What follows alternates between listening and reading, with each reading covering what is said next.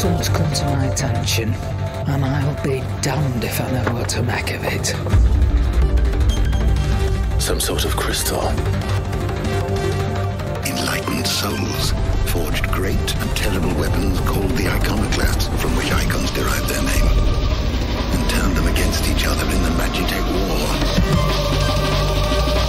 It seems somebody's woken this place up. The question is, who?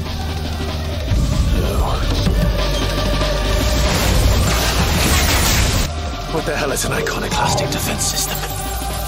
I've a feeling we're about to find out. And that we will not like the answer. Then we better cut this short.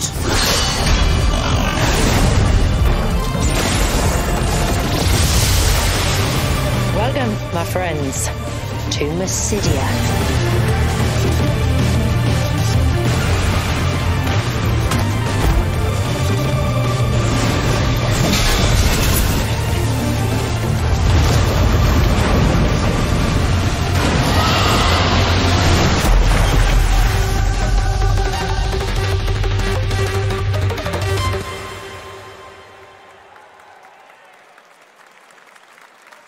プレイステーション